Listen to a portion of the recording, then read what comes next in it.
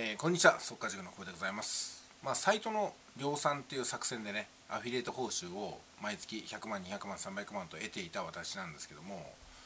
一番最初にねこの量産作戦やろうと思った時っていうのは最初の3ヶ月は、まあ、サイトいくら作ってもゼロでしたね収入は。ゼロなのに4ヶ月目もやったんですよ。4ヶ月目は3000円ぐらいでした。次の月に5万円ぐらいになってその次の月に30万ぐらいっていうふうにねぐっと2時間数で伸びたんですよね。これはアフィリエイトサイトの教育を受けるときにインターネットは2時間数だよっていうふうに教わってたのが一つの希望になりました。で通常労働っていうのは1時間働いたらあ例えばね10万円とかね。じゃあ1日働いたら20万円とかね。正比例の関係にあるわけなんですよ。正比例の関係にある売上の中からその一部を自分に給料としていただけるということなんで正比例なら正比例でね100やったらそれに応じた割合1万やってもそれに応じた割合ってことで突き抜けることはまずないなと思ったんですよ。それこそ投下する時間によって得られる収入が正比例の関係で決まってるってことです。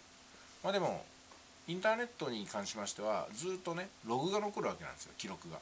でそれが消えることがないんですよ。例えば作ったサイトが勝手に報酬を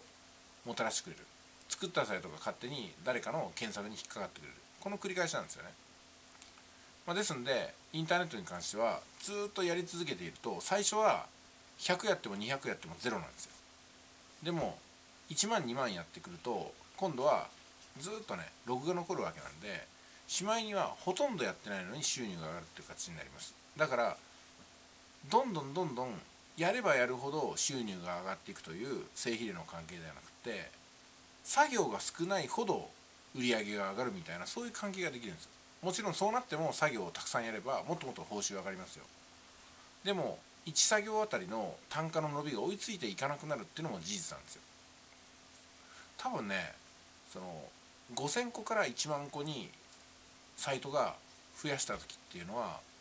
最もピークが来たんじゃないかなと思いますけども今度ね1万サイトから1万5000サイトまで伸ばした時って5000から1万に向かった時のプラス5000よりは売上の伸びってねそんなに出てなかったと思うんですよ。多分ねまあ30%も出てないと思うんですよね、うん、そう考えるとどっかで頭打ちになるっていうかね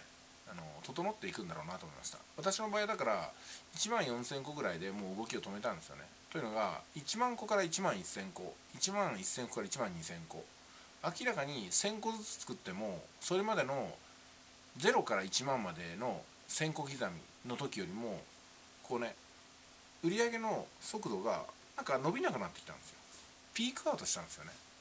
だから一番いいポイントって1万個だったんじゃないかなと思うんです1万個だと最小限の能力で最も売り上げが高かった時期その時なんじゃないかなと思うんですよ。それからサイトを作っても思ったほど伸びていかないんですよ。例えば0から1万個まで作ったのと同じ1万個なんだけど1万個から2万個に作った時と多分売り上げの伸びってそんなに変わってないんじゃないかなと思うんですよ。例えば0から1万個に行った時っていうのは例えば月収がね100万になったとしてもじゃあ1万個から2万個になったら単純に合計で倍だから200万になるのかってそうじゃなくて150万ぐらいになるんだなと思うんですよ。うん、まあ私の感覚ですけどまず間違いないでしょう。ということなんでね、あのスタートした時は凡人なんでそんなに売り上げ上がりません。でも作業のスピードは速くなるし段取りは上手くなるしテンプレートや文章っていうの持ってくれるしバナーの貼り方ももう瞬足ですよ。最初の100個200個作ったというよりも、まあ、YouTube で言うと吉田さんが言われるように動画を1万個ぐらいで自分のしゃべりだけでやってきたら最初の10個と1万個を作る直前の最後の10個とだいぶレベル変わってくると思うんですよ。ここなんじゃないかなと思いますよね。でもうすぐオリンピックがあると言われてますけどもアスリートの皆さんは代表選手っているじゃないですか。オリンピックに出るような代表選手っていうのはものすごくね、えー、いい成績残せる方だと思いますけども代表選手にはならなかったんだけども同じフィールドでトレーニングをしたチームメートはどうでしょうか。